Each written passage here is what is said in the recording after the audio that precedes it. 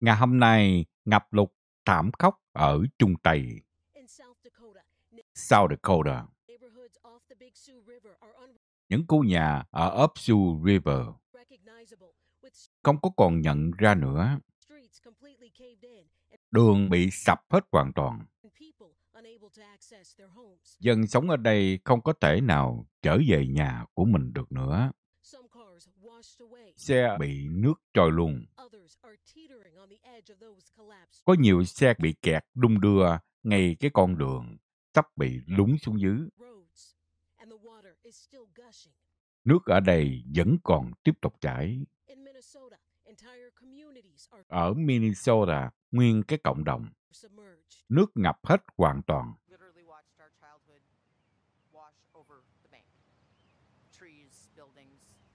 Chúng tôi nhìn thấy tất cả những gì mà của hồi nhỏ trôi đi hết. Những người dân sống gần ở ngay Mankato, đập ở trên có thể bị bể, làm nước tràn luôn xuống dưới. Her Cô Jenny, cái người sống lớn lên chỗ này, ba và anh của cổ cũng lớn lên tại căn nhà này, ngay sông suối ở đây. Không phải nhà của họ lo không. Gia đình của họ có cái tiệm tên là The Dam Store ở ngay cái đập chỗ này. than 50 years. Hơn 50 năm trời.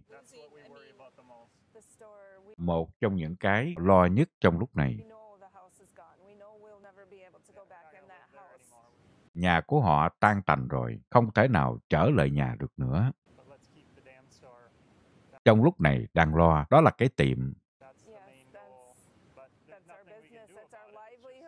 Cơ sở làm ăn của chúng tôi, cuộc sống của chúng tôi.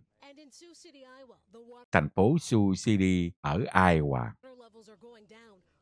Nước ở đây nó đang xuống từ từ. Những người dân ở đây chưa có xong đâu. Brewster is there. 24 hours ago, this road was completely flooded. The water 24 tiếng đồng hồ về trước, con đường ở đây nước ngập hết hoàn toàn. here is clearly receding, Ngay bây giờ nước nó đang rút xuống rõ ràng. but you see the Big Sioux River is still at historic levels. Nhưng mà cái con suối Sioux River đằng kia nó vẫn còn dâng lên rất là cao. Ông Rich và bà Amy dọn má của họ rời khỏi chỗ này tối hôm qua.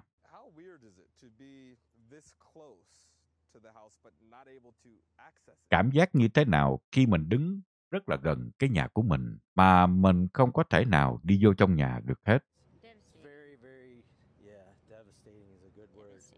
Cái rất là thảm khốc trong lúc này. Đó là cái từ đúng nhất hiện tại.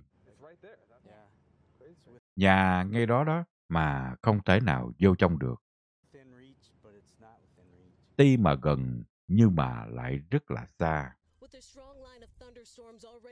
Liên tiếp mưa bão lớn xảy ra. Ngày hôm nay, Michigan bị bão tới.